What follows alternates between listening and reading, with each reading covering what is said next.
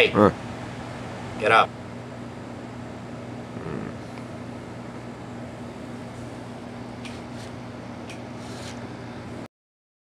When I finally got up, I managed to shuffle to the bathroom and do Ugh. what is, in my mind, the most menial and demeaning task that everyone has to do. I brushed my teeth.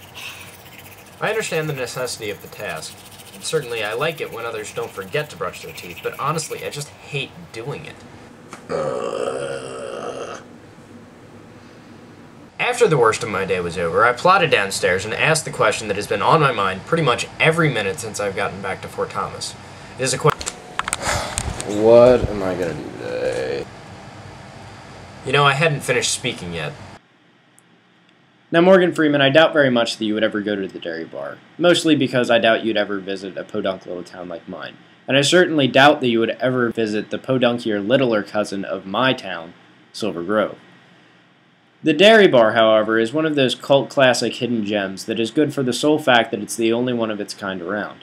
The food, you know, isn't that great, but because it's the only one that can offer that kind of food, well, it gets good business. Their milkshake is to die for.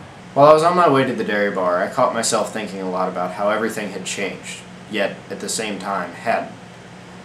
Little things, like the weather was hotter than I remembered, my bed was a little less comfortable, and the food didn't quite taste as good as it used to. Certainly, I think that's one of the many perils of leaving a place that you once called home and then returning after a long time away. The illusion is nice while you're gone, but when you return, the illusion is shattered. Everything had been stored to an almost utopian status. I don't know if it's a good thing. I don't know if it's a bad thing.